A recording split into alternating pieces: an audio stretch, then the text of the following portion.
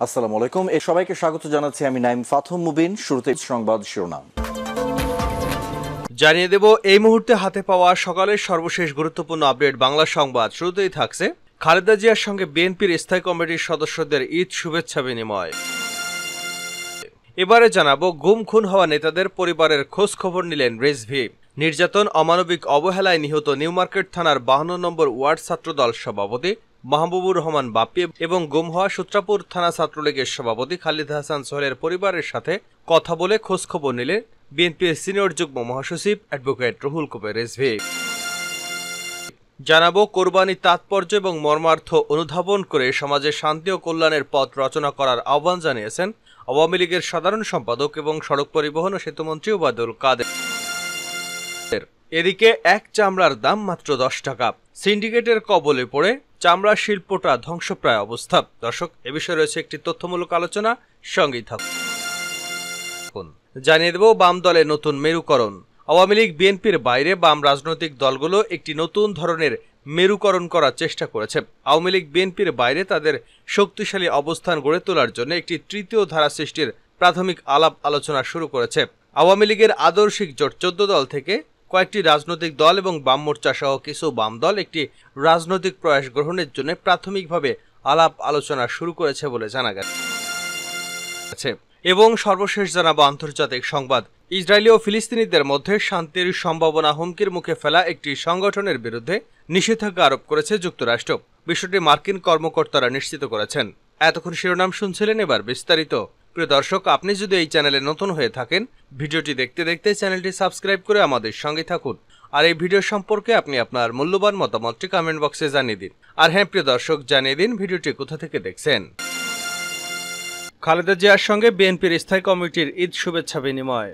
দলের চেয়ারপারসন খালেদা জিয়ার সঙ্গে ঈদের শুভেচ্ছা বিনিময় করতে তার বাসভবনে গেছেন বিএনপির স্থায়ী কমিটির সদস্যরা। রোববার রাত আটটার পর রাজধানীর গুলশানে খালেদা জিয়ার বাসভবনে ফিরোজায় প্রবেশ করেন তারা।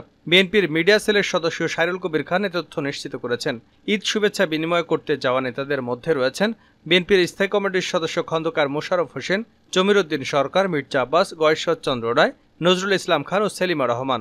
এদিকে গত কয়েক বছরের মতো এবারও খালেদা জিয়ার ঈদ কাটছে গুলশানের বাসা ফিরোজায়। বড় ছেলে বিএনপির ভারপ্রাপ্ত চেয়ারম্যান তারেক রহমানের পরিবার সহ লন্ডনে। ছোট ছেলের স্ত্রী এবং সন্তানরাও দেশের বাইরে, তাই দেশে থাকা ভাইদের পরিবারের সহ ঘনিষ্ঠ স্বজনদের নিয়ে ঈদ কাটিয়েছেন সাবেক প্রধানমন্ত্রী। জিয়া অরফানেজ ট্রাস্ট ও জিয়া চ্যারিটেবল ট্রাস্ট দুর্নীতির মামলায় সাজাপ্রাপ্ত বিএনপির চেয়ারপারসন দু হাজার আঠারো সালের আটই ফেব্রুয়ারি কারাবন্দী হন। দু হাজার বিশ সালের পঁচিশে মার্চ সরকার নির্বাহী আদেশে সাজা স্থগিত করে শর্ত সাপেক্ষে তাকে মুক্তি দিয়েছিল। তখন থেকে ছয় মাস পরপর পর তার সাজা স্থগিত করে মুক্তির মেয়াদ বাড়াচ্ছে সরকার। দীর্ঘদিন ধরে নানা রোগে ভুগছেন এই প্রধানমন্ত্রী। বিএনপির মিডিয়া সেলের সূত্রে জানা গেছে, ঈদুল আজহা উপলক্ষে বিএনপি চেয়ারপারসন একটি গরু এবং একটি খাসি কোরবানি দিয়েছেন। গুম খুন হওয়া নেতাদের পরিবারের খোঁজখবর নিলেন রিজভি। নির্যাতন এবং অমানবিক অবহেলায় নিহত নিউ মার্কেট থানার বান্ন নম্বর ওয়ার্ড ছাত্রদলের সভাপতি মাহবুবুর রহমান বাপ এবং গুম হওয়া সূত্রাপুর থানা ছাত্রদল সভাপতি খালিদ হাসান সোহেলের পরিবারের সাথে কথা বলে খোঁজখবর নিলেন বিএনপির সিনিয়র যুগ্ম মহাসচিব অ্যাডভোকেট রুহুল কবির রিজভি।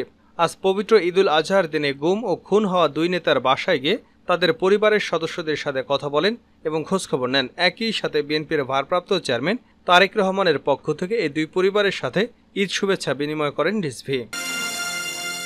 কোরবানির তাৎপর্য অনুধাবন করে শান্তি ও কল্যাণের পথ রচনা করতে হবে ওবায়দুল কাদের। কোরবানির তাৎপর্য এবং মর্মার্থ অনুধাবন করে সমাজে শান্তি ও কল্যাণের পথ রচনা করার আহ্বান জানিয়েছেন আওয়ামী লীগের সাধারণ সম্পাদক এবং সড়ক পরিবহন ও সেতুমন্ত্রী ওবায়দুল কাদের। পবিত্র ঈদুল আজহা উপলক্ষে সোমবার দেওয়া এক শুভেচ্ছা ভিডিও বার্তায় তিনি এসব আহ্বান জানান। কাদের বলেন, পবিত্র ঈদে আমি দেশবাসী সহ প্রবাসে অবস্থানরত সকল বাংলাদেশিকে, বাংলাদেশ আওয়ামী লীগের পক্ষ থেকে জানাচ্ছি আন্তরিক শুভেচ্ছা, ঈদ মোবারক। সেতুমন্ত্রী বলেন, বছর ঘুরে আবার এলো ঈদ উল আজহা। ত্যাগের মহিমায় সমুজ্জ্বল, মহান আল্লাহ পাকের প্রতি গভীর আনুগত্য ও সর্বোচ্চ ত্যাগের নিদর্শনে ভাস্বর পবিত্র ঈদুল আজহা। আমাদের কোরবানি তাৎপর্য এবং মর্মার্থ অনুধাবন করে সমাজে শান্তি এবং কল্যাণের পথ রচনা করতে হবে। আর এজন্য সকলকে সংযত ও ত্যাগের মানসিকতায় উজ্জীবিত হওয়ার কোনো বিকল্প নেই। আওয়ামী লীগ সাধারণ সম্পাদক বলেন, অর্জনের ধারাবাহিকতায় প্রধানমন্ত্রী শেখ হাসিনা যে ভারসাম্যপূর্ণ শোষণহীন, ন্যায়নিষ্ঠ এবং সমৃদ্ধ বাংলাদেশ নির্মাণে নিরলস কাজ করে যাচ্ছে, তা সফল করতে প্রয়োজন নিষ্ঠুর সততা ও ত্যাগ। অকৃত্রিম ভালোবাসা এবং ত্যাগের আদর্শ আমাদের ব্যক্তি ও সমাজ জীবনে প্রতিফলিত হলে প্রতিষ্ঠিত হবে প্রত্যাশিত শান্তি ও সৌহার্দ্য।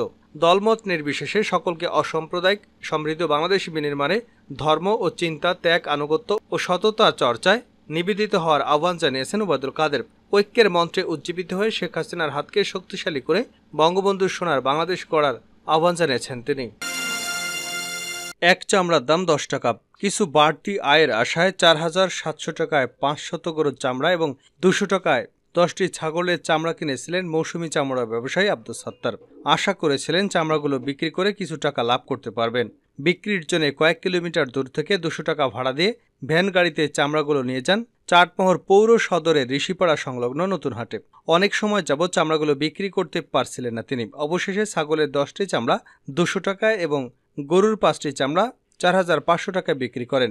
ভ্যান ভাড়া সহ তার লোকসান হয় চারশো টাকা। সোমবার বিকেলে হাট প্রাঙ্গণে আলাপকালে ক্ষোভ প্রকাশ করে আব্দুল সাত্তার বলেন, ইতা আর করবলয় সোমবার ঈদুল আজহার দিনে পাবনার চাটমোহরের মল্লিক বাইন গ্রামে ঘটনা ঘটে। কেবল আব্দুল সাত্তারই নন, তার মতো আরও কিছু ব্যবসায়ী, কুরবানিকৃত পশুর মালিকরা এতিমখানা মাদ্রাসার পক্ষ থেকে সংগৃহীত কাঁচা চামড়া বিক্রেতারাও চামড়া বিক্রি নিয়ে বিপাকে পড়েন। Bangladesh finished leather leather goods and footwear export অ্যাসোসিয়েশনের ঢাকার বাইরে গরু লবণ দেওয়া চামড়া প্রতি বর্গফুট পঞ্চাশ থেকে পঞ্চান্ন টাকা বিক্রির ঘোষণা দিলেও বর্গফুটের হিসেবে চাটমোহরের কোথাও চামড়া বিক্রি হয়নি। ফরিয়ারা চামড়ার দাম কম বলায় যারা পশু কোরবানি করেছিলেন, তাদের অনেকেই ফরিয়ার নিকট চামড়া বিক্রি না করে বেশি দামের আশায় মহাজনের কাছে নিয়ে গেলে পশুর চামড়া ন্যায্য দাম পাননি তারা। দাম কম পাওয়ায় বিক্রেতারা ক্ষোভ প্রকাশ করেন। বিক্রির বিড়ম্বনা এড়াতে অনেকে মাদ্রাসা এবং এতিমখানায় দান করেন কোরবানিকৃত পশুর চামড়া। যুক্তরাষ্ট্রে নিষেধাজ্ঞার কবলে ইসরায়েলি সংগঠন। ইসরায়েল ও ফিলিস্তিনিদের মধ্যে শান্তির সম্ভাবনা হুমকির মুখে ফেলা একটি সংগঠনের বিরুদ্ধে নিষেধাজ্ঞা আরোপ করেছে যুক্তরাষ্ট্র।